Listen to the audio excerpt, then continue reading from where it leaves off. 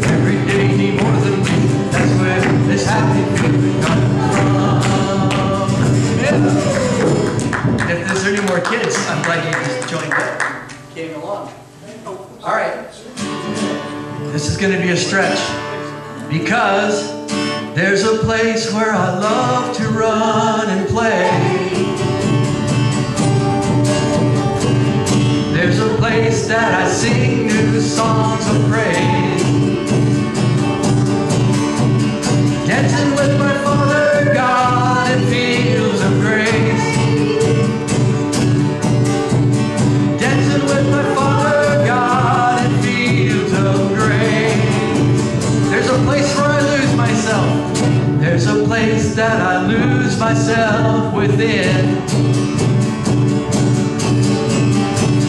There's a place that I find myself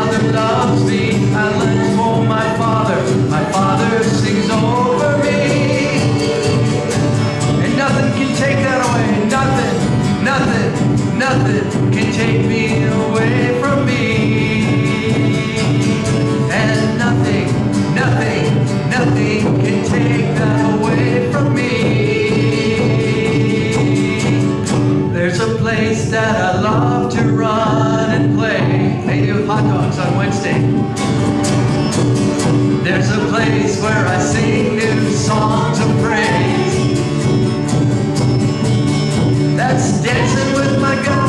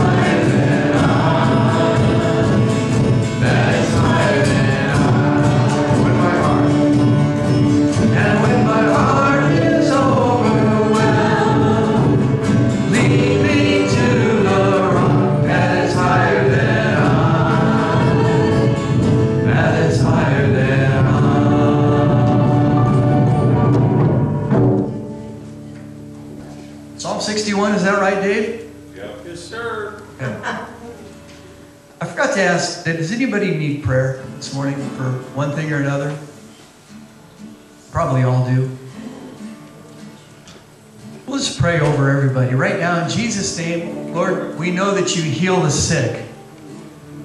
You did it. You came here and you healed the sick. There was no disease that you couldn't cast out. And you've given us the authority to do that. So we continue to take that authority and pray over those who may didn't come to church today because they're feeling bad or quarantined, but you can remove any sickness. And we pray in Jesus' name that that sickness would be gone. Affirmities be gone. Depression, be gone in Jesus' name. Depression be gone in Jesus' name. The joy of the Lord is my strength. That's what this month is all about. The joy of the Lord is my strength.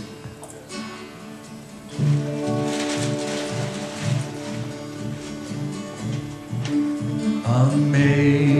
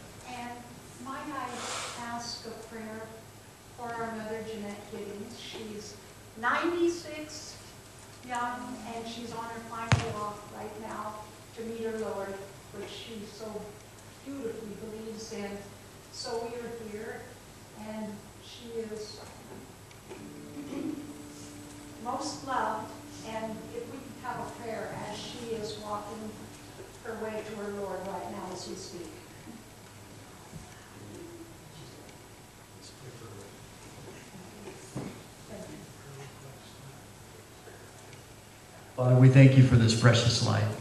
We thank you for this precious mother, grandmother, probably great grand, not great great grandmother.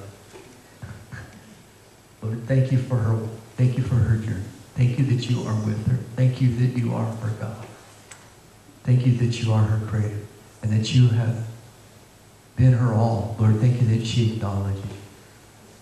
She's ready to be with you forever and forever and forever and forever. And bless the family, Lord, as they surround her with love, tenderness, and your great grace flow, your great mercy, Lord. Thank you for your forgiveness. Thank you for the blood of the Lamb over her.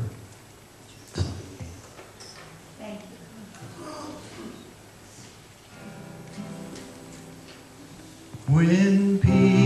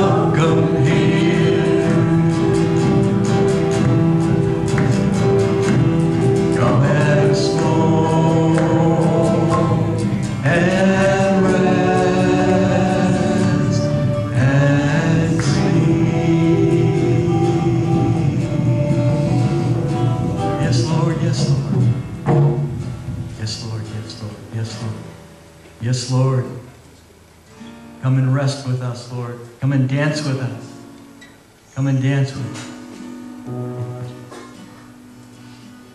May we be a pleasing fragrance to you, Lord, an acceptable offering because of the blood of the Lamb.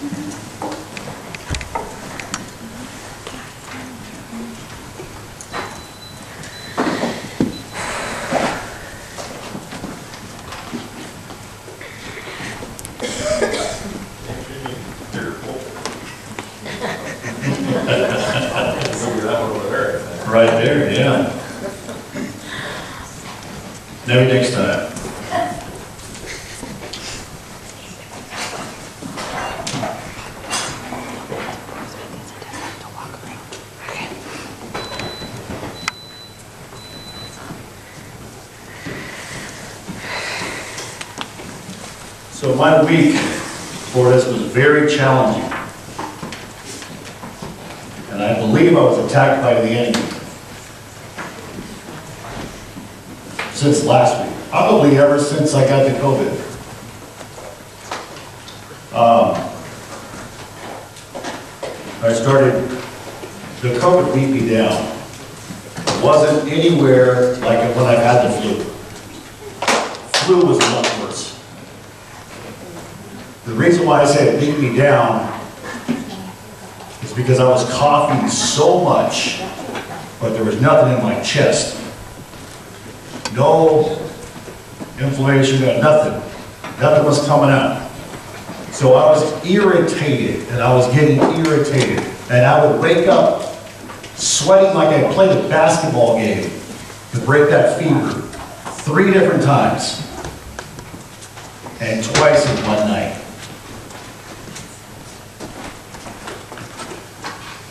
When I went back to work, I thought I knew, okay, this is what I want to talk about. All right, Lord, doing a little research. We're going to talk about love. And not because Valentine's Day tomorrow, but we're going to talk about agape love. Unconditional.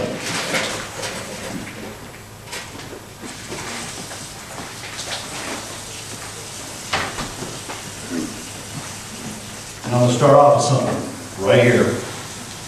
Could you, or can you imagine Jesus dropping the cross?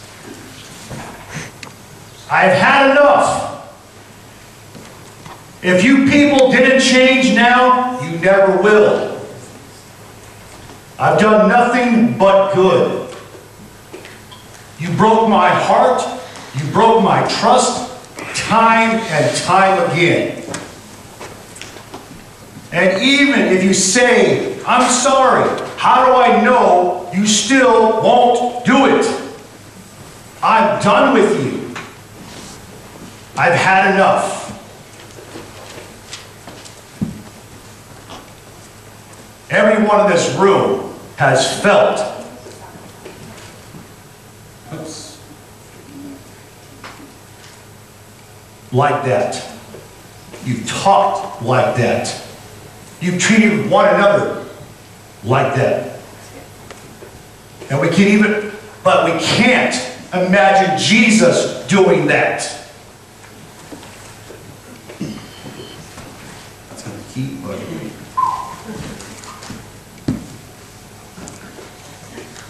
It's going to hold.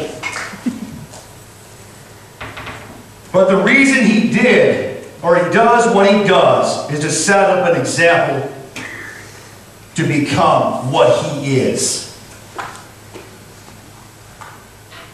He doesn't want us, want to just lavish us in love. He wants to transform us in love. God's love shown through Scripture. We go right back to Exodus chapter 34, where he describes himself to Moses. So as the Lord passed in front of him and proclaimed, The Lord, the Lord is compassionate, compassionate, gracious, slow to anger, abounding in love and truth, maintaining faithful love for thousands of generations, forgiving iniquity, rebellion, and sin. Chapter 34, verses 6 through 7. He described himself to Moses. Now we're going to go right back into the New Testament. There's so much scripture we could share about what God's love is. First one I want to talk about, you guys all know, John 3.16, For God so loved the world that he gave his only begotten Son, that whosoever believes in him should not perish, but have everlasting life. Unconditional. He loved us first. Romans 5 8 talks about that. And that he demonstrated for while we were still helpless, at the right time, Christ died for the ungodly. For this is in verse 6, chapter Romans chapter 5, verses 6 6 through 8. At the right time, Christ died for the ungodly. Verse 7, for rarely will someone die for just a person. Though, the good, though for a good person, perhaps, someone might dare to die. But God proves or demonstrates His own love for us, and while we were yet sinners, Christ died for us. Even when we didn't care or we were naive and we didn't even know it. His love, unconditional, with seeking for us, not us seeking Him. So God demonstrates His love.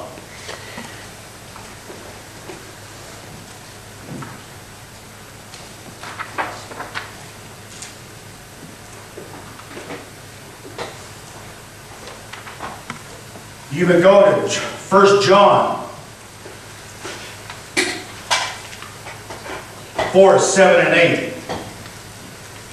Beloved, let us love one another, for love is God, and everyone that loveth is born of God and knows God. He that loveth not, know not love, because God is love. Amen.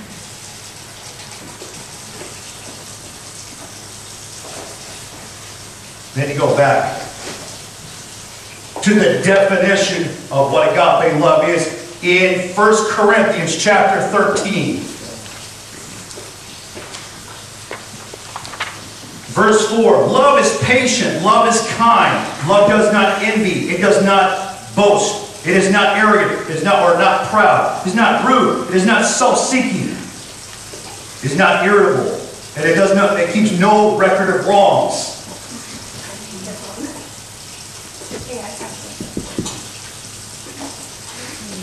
That's God's love. That's agape love. Love finds no joy in unrighteousness, but rejoices in the truth. It bears all things, believes all things, hopes all things, and endures all things.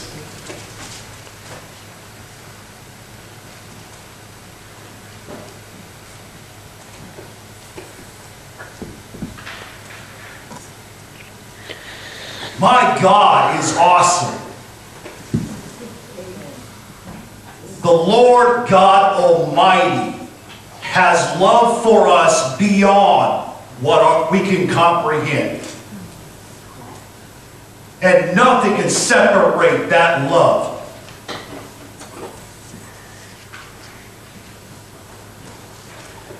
It's funny, because you can even look in Galatians chap, um, sorry. Galatians chapter 5, verse 22, it talks about the fruit of the Spirit. What's the first thing? Love. Is that coincidence? No. Because God is love. It is not a coincidence. God is love. And we need to be more like Him and less like us. And going back and, and ridiculing one another, judging one another. We should come with love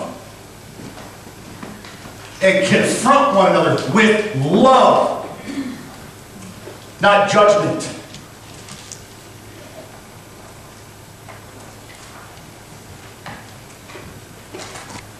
Because we're no different in the eyes of God when it comes to sin in our own lives.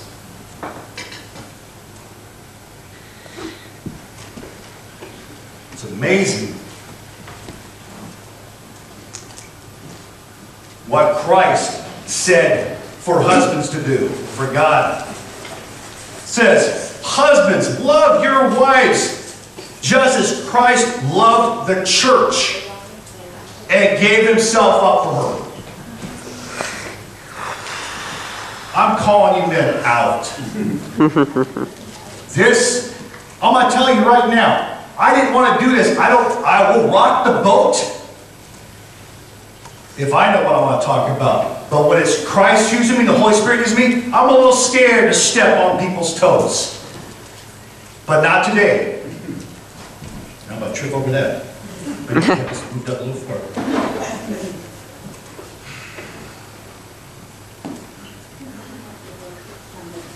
We are supposed to emulate. We're supposed to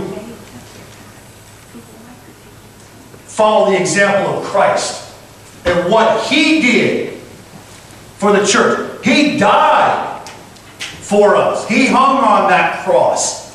There was a time that He said, Luke, Lord, take this cup from me. Not my will, but your will be done. So His love still, I'm going. And even when he got whipped, he still carried that cross. Even to the point where he couldn't carry it any longer and someone else carried it for him.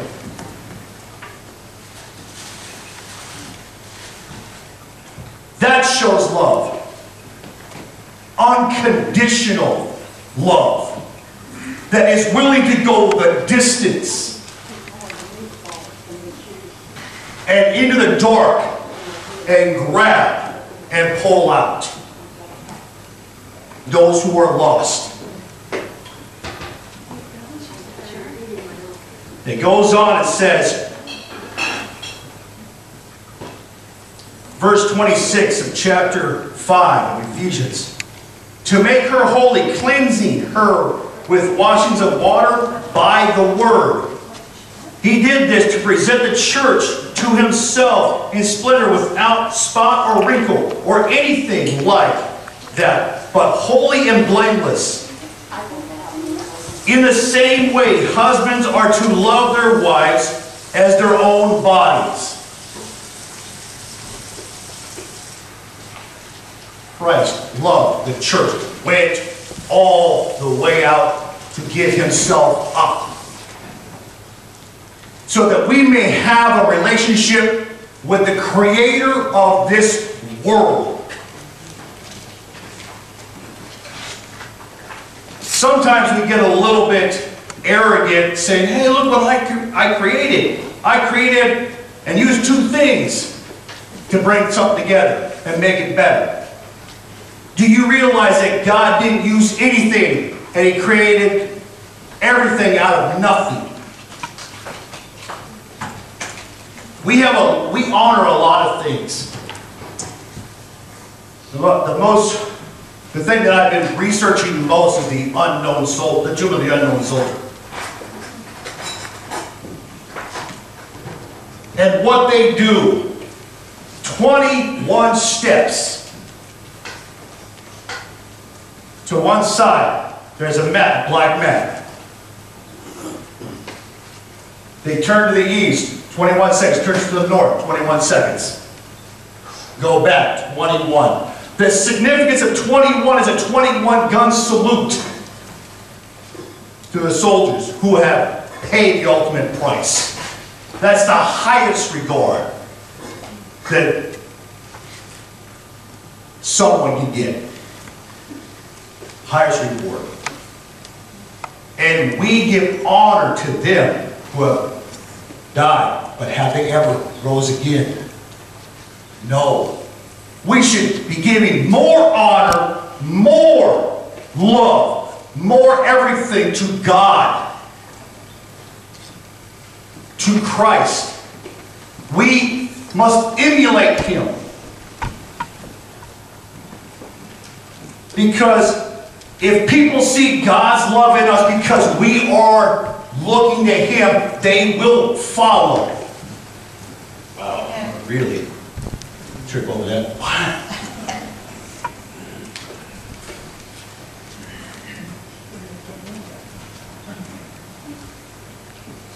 Love, there's different types of love.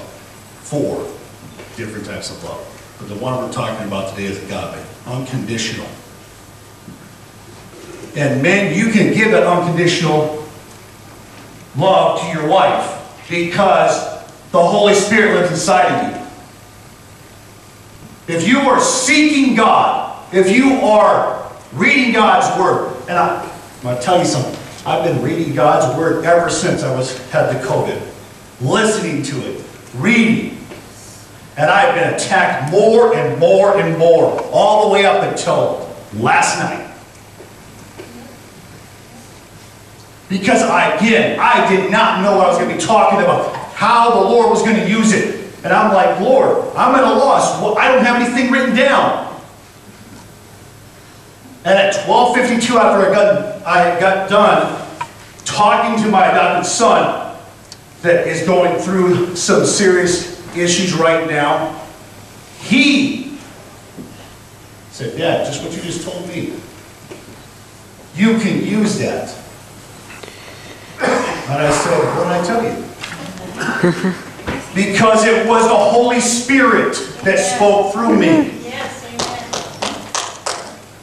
And with that being said right there, the Lord woke me up and said, this is what I want you to do. Right when I got off there, I'm like, Lord, what did I say? What did I share with him?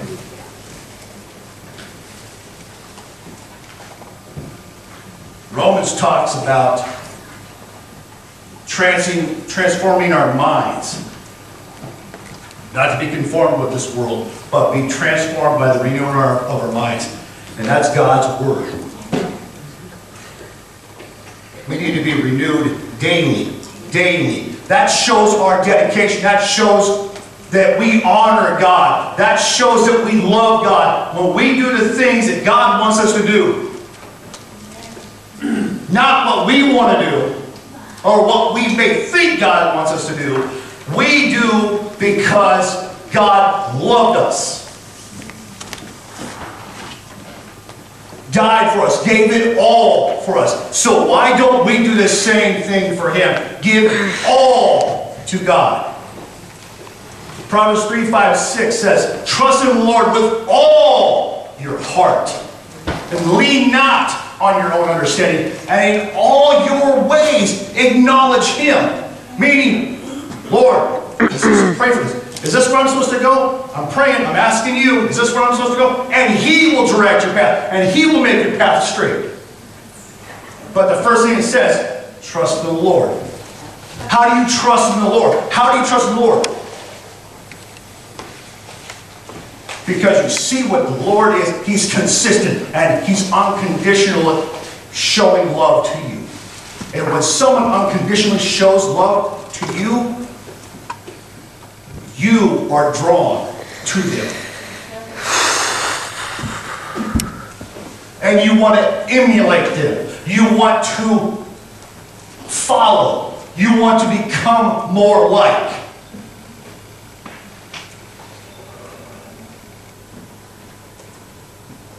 That last one right there with the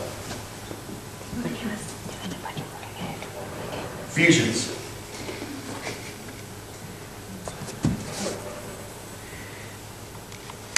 Hit me hard. Because I need to be doing that unconditionally towards my wife, Rebecca.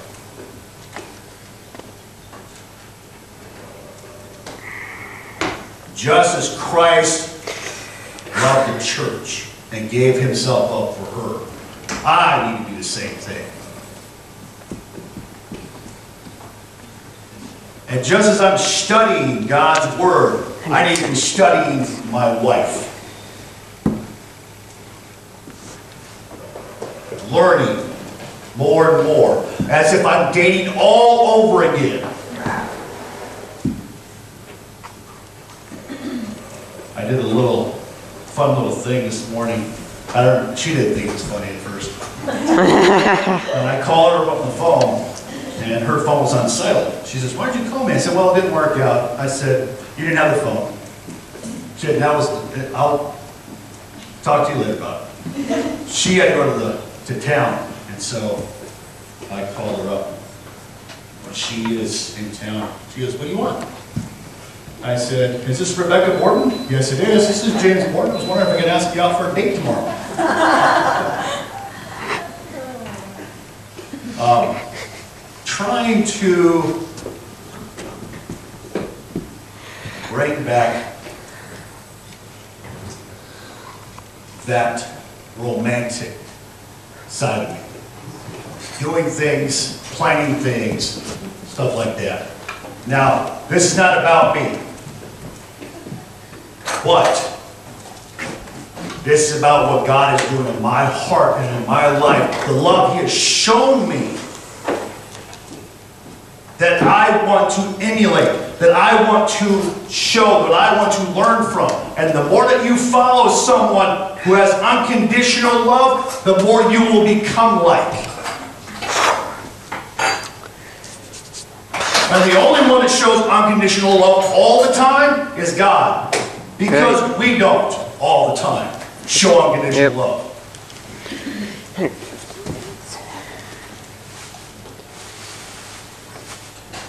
So my conclusion. The first thing I gave you was God dropping the cross. What if he did? What if, could you imagine him doing that? There is no way I can ever imagine him doing that. Be rest assured that he carried that cross. He hung on that cross. Died and rose again in three days. And he's sitting at the right hand of the Father. Lord, Lord, And he will come back again. He will set up his kingdom, and there's no, no one going to overthrow it. Is that someone you should be following? Amen. That's between you and God. If you can openly say that, then there you go, you got it. Because it is all about expressing, I can follow God. Are you willing to go to even death? That's the big question.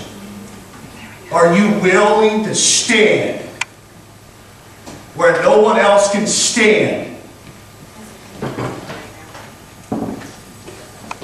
Because if you are, God will give you the power to do so. Because man can, I can't say this completely right, but I've read that man can kill your body, but he can't kill your soul. Yep. My challenge to you guys, and I'll close with this.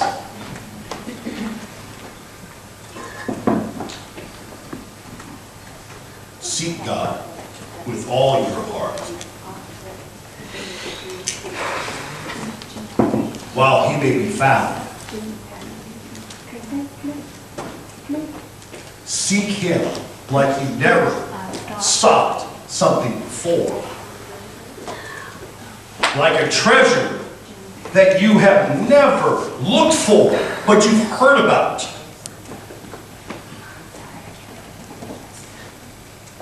That very love that you want to have, that you want to display, that you want to show others, is the very essence of God.